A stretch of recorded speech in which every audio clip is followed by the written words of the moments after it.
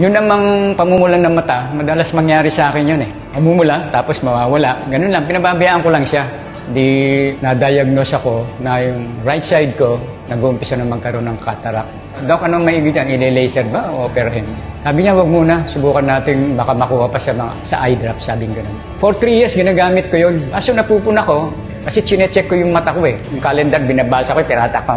Para makita ko lang kung bumubuti o paano. Tapos, eh, gusto ko kasing talagang tuluyan din magamot yung mata ko. Siyempre, di ba, cataract, nakakatakot siya, pwedeng makabulag, gano'n. ano.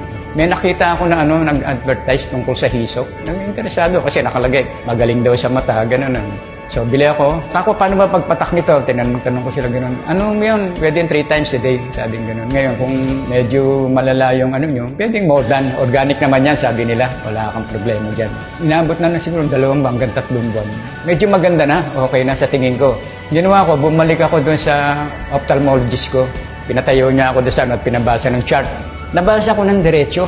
Ah, sabi niya, wala namang problema, nag-improve. Pati ako nagulat din eh. Nag-subside na yung pamamaga ng ugat ng mata mo.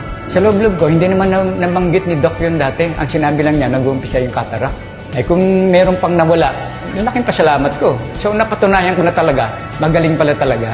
Talaga palang nakakapagpagaling. Na-experience ko yun. Kaya i-recommend ako talaga na gumamit kayo ng Isop Mineral Drops. Ako po si Francisco Silvestre. Nagkaroon po ako ng cataract. Awa ng Diyos, gumaling po. At ito po ang kwento ng hisop ko.